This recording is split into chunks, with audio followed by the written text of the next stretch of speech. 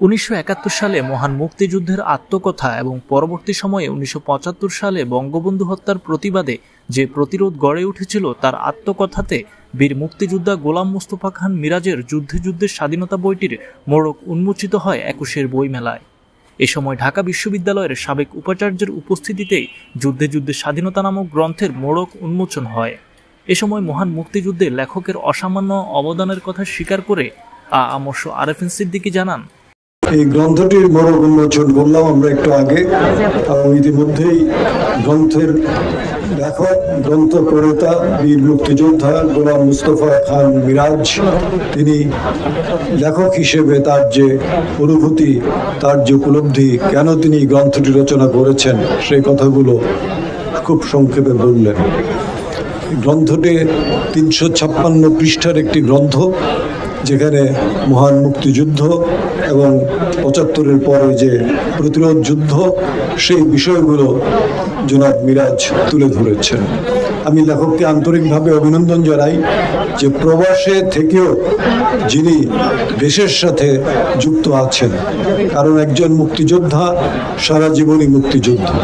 অতএব তিনি এখনও মুক্তিযুদ্ধ করেই চলেছেন। এবং তার কথায় সেটি প্রকাশিত হয়েছে।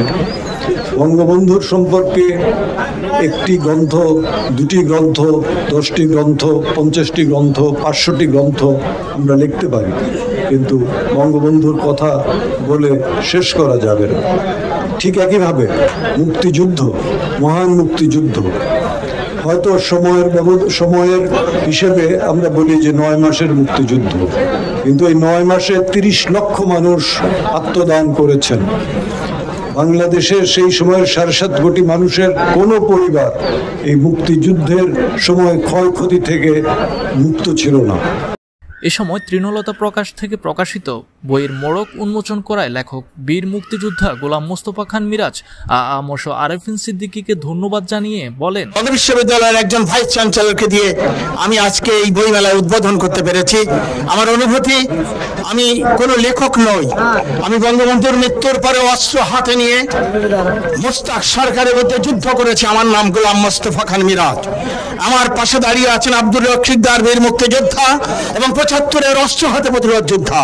আমার পাশে দাঁড়িয়ে আছেন মোহাম্মদ ইনুজ মিয়া একাত্তরের মুক্তিযোদ্ধা এবং অস্ত্র হাতে নিয়ে বঙ্গবন্ধু হত্যার প্রতিরোধ যোদ্ধা।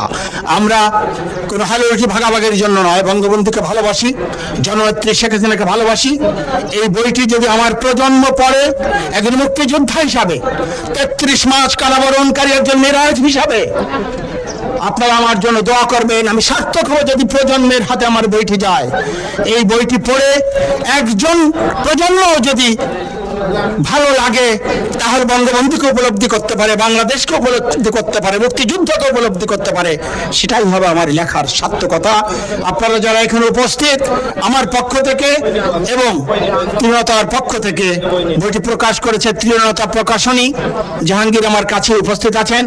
এই বইটি উপলক্ষে আমার শ্রদ্ধ শিক্ষক, ঢাকা বিশ্ববিদ্যালয়ের সম্মানিত শিক্ষক, আমাদের গর্বিত শিক্ষক, যিনি কোনো কিছু পরোয়া না করে আমি আমেরিকা পঁয়ত্রিশ বছর থাকি আরেফিন স্যারের ভক্ত আমরা হয়ে গেছি ওখানে। কারণ উনি কিছু আনেননি উনি রাজপথের সাথী ছাত্র সমাজের পাশে এসে বঙ্গবন্ধু হত্যাকারীদের বিরুদ্ধে মিটিংয়ে মিছিলে সহযোগিতা করেছেন। আমি গর্বিত, আমি বিমুগ্ধ যে স্যারকে আমি আজকে আমার মাঝে পেয়েছি। স্যার আমাকে দোয়া করবেন। আমি সকলের কাছে দোয়া চাই। জয় বাংলা, জয় বঙ্গবন্ধু, বাংলাদেশ চিরজীবী হোক।